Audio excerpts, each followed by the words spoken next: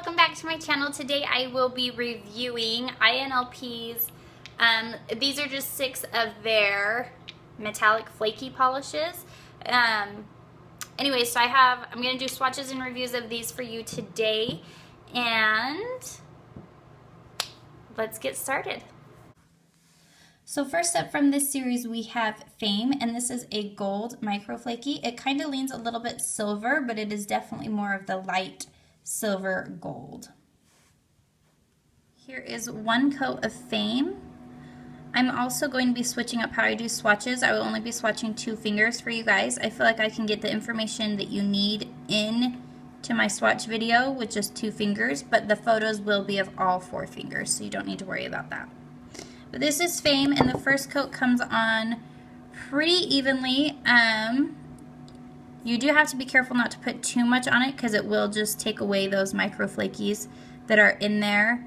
Um, but it goes on pretty evenly, pretty smoothly. This is a micro flaky, and so it will take, those will stick to your skin more than other polishes. So there is one coat of Fame, and I can still see my nail line a little bit, so I will be doing a second. And here is two coats. Please excuse my dry cuticles and the cut on my finger. It is very dry where I am right now, being winter. And um, I cut myself making a blanket yesterday. So, but here's two coats. It does completely cover in two coats. Um, for me anyways, depending on your application, you might need more than two. Um, but the micro flakies in this is super shiny and it covers completely and it hides your nail line extremely well. Again, like I said, this is going to stick to your skin, so I would probably put a peel, on, peel off base coat on underneath or um, just be prepared to fight those micro flakies off of your cuticles when you are ready to remove your polish. But there is two coats of Fame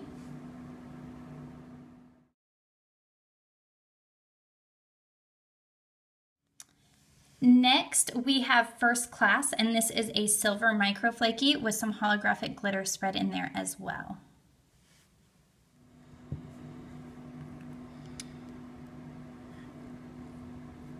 Here is one coat of First Class. It is pretty sheer on that first coat. I got a little bit heavy right down here in the middle. Um, so we'll need a second. But the formula is great. The micro glitters are very smooth to put on. You don't really have to fight them. They come out of the bottle. It's not it's not a fight on getting the glitters out of the bottle, which is great. So there is one coat of first class. Here is two coats. And this is more of like a deep gray metallic. It kind of actually reminds me of like a mirror if you're looking into a mirror.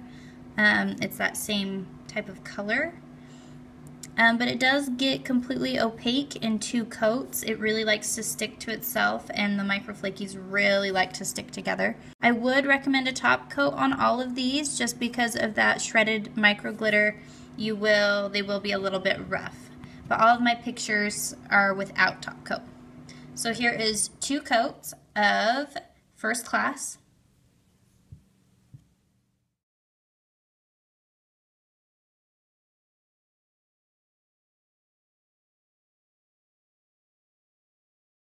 This is Clockwork, and it is more of a coppery, bronzy, um, gold color, but I definitely say it leans more towards the copper side of tones. It reminds me more of like a penny. Here is one coat of Clockwork. Clockwork is pretty sheer on this first coat, um, but I have a feeling that it'll stick really well to itself. But it is very holographic. I feel like there's more holographic in here than there are um, micro flakies. So we have that going for us. And I did forget to apologize at the beginning of this video. Um, during all these swatches, if you see shredded micro glitter on my skin, um, I did warn you in the beginning that they would be extremely hard to get off your skin. They'd like to stick to it. So I'm going to apologize for that now. But there is one coat of clockwork, and we will be doing a second. So here is two coats of clockwork.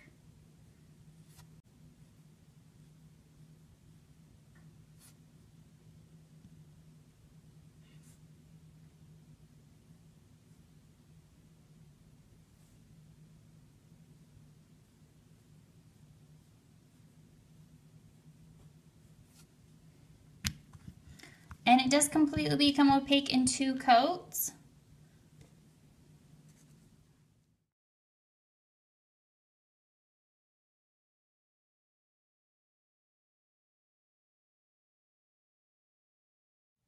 Juliette is a rose gold microflaky.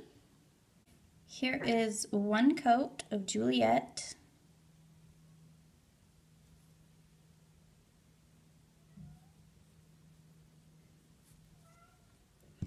Um, it's still pretty sheer on this first coat, so I will be doing a second. Um, like I said, there's lots of holographic, and this one has a lot more shredded micro glitter in it than Clockwork did. And these are pretty similar in color. This one just leans more pink, the other one leans more copper. I will be doing a picture of a side-by-side -side of the two of them. Um, I'll be doing every other finger Clockwork and then Juliette. Um, but there is one coat and we are going to let this dry and come back for a second. Here is two coats.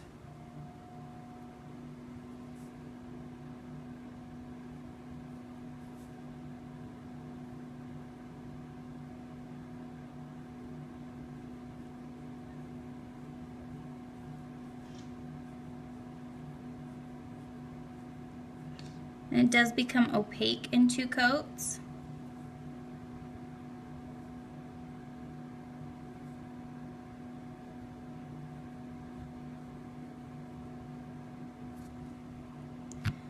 So that is two coats of Juliette.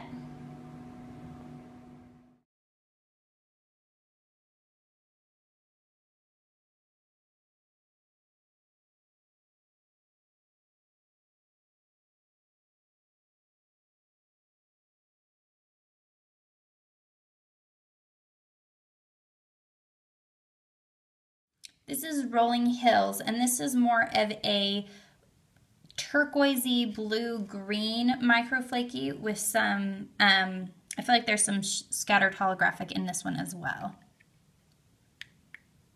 Here is one coat of Rolling Hills. And this one you can definitely see that jelly base in here with all those holographic glitters um, in it. And this one is pretty sheer on that first coat, so we will need a second but it lays pretty evenly. All these have about the same formula. They're not too thick, not too thin, and you will want to put a top coat on all of these. So there is one coat of Rolling Hills.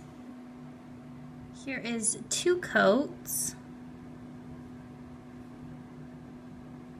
It builds up really nicely on itself on the second coat, and I am going to say it's completely opaque in two coats.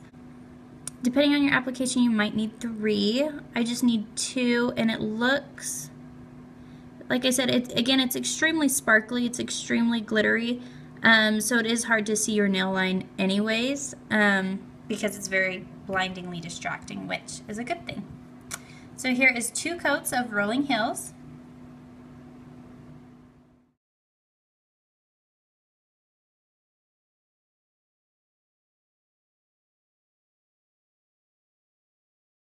This one is XO and it is a deep purple micro flaky with some micro glitters in there as well.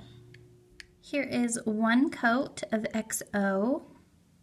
This is a purple jelly base and honestly the color just reminds me of grape jelly, grape jam. Um, but it has some holographic glitter in there and then a whole bunch of silver micro flakies. Um, it is sheer on this first coat still, and so we will be needing a second, but it covers really evenly and really smooth. So there is one coat of XO. Here is two coats. It builds up really nicely on this second coat, but I still can kind of see my nail line with it, so I will probably be doing a third. But the micro flakies really like to stick to each other on this one. You know, after further inspection, I don't think I will be doing a third. Two coats is good for me. Um, so here is two coats of XO.